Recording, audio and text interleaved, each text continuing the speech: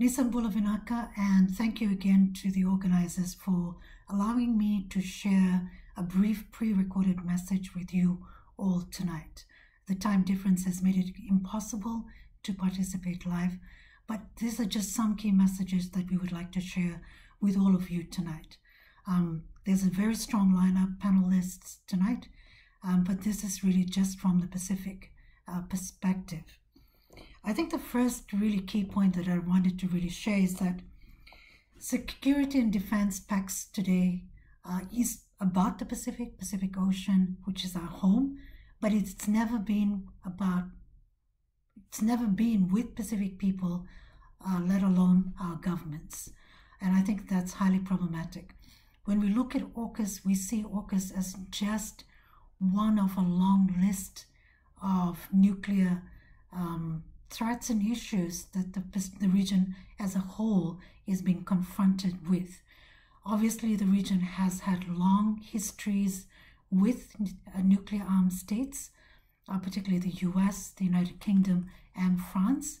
And increasingly, we're seeing Australia's role um, in these kinds of de defense and security pacts.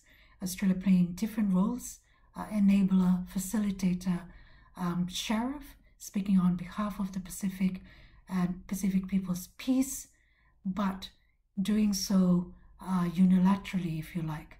So I think this is one of the key messages is that we see Australia playing a role such as a sheriff role, taking decisions around security, which is not aligned with Pacific people's um, immediate priorities around security, in particular human security.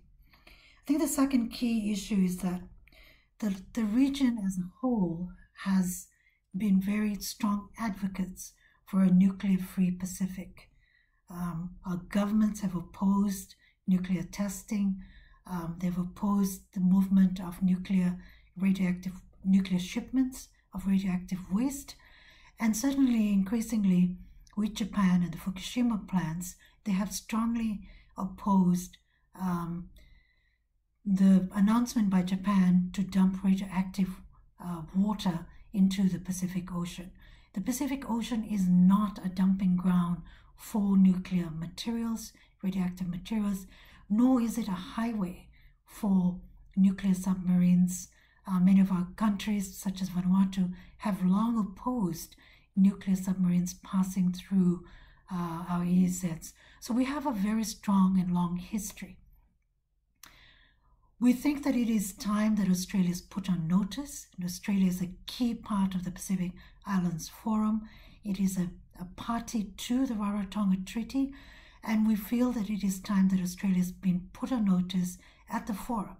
It is clearly part of our neighborhood, but it's acting outside of the norms of Pacific Island countries, and so we think it's time to put Australia on notice.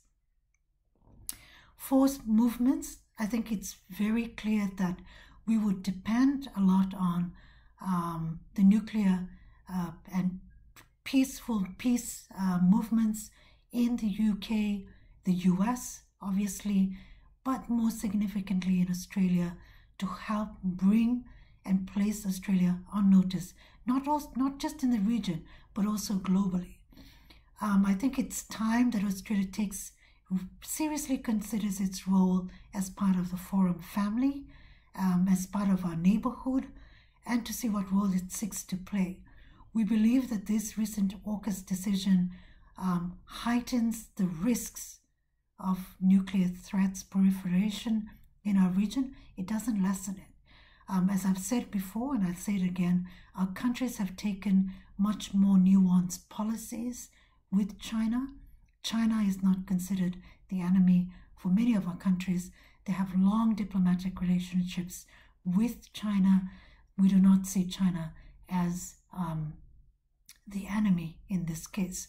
But we feel that it's time to send a very strong uh, message to the Australian government and to put them on notice at the forum, uh, even as a because it's a party to the Rarotonga Treaty. On AUKUS, you would have seen that um, Jacinda Ardern, the New Zealand Aotearoa government, has put out a strong statement about nuclear free New Zealand. Um, certainly Prime Minister of Fiji. Um, we've seen public statements by um, Kiribati, the president of Kiribati, Solomons, and also Papua New Guinea. So increasingly, as civil society and as movements in the Pacific who are rallying around a nuclear free and independent Pacific, we stand in solidarity with our governments to hold and bring the Australian government and put them on notice, first here in the region through the Rarotonga Treaty. So I, I, I send you um, solidarity messages to support um, that we will stand strongly with you all um, to bring the Australian government to account. Thank you.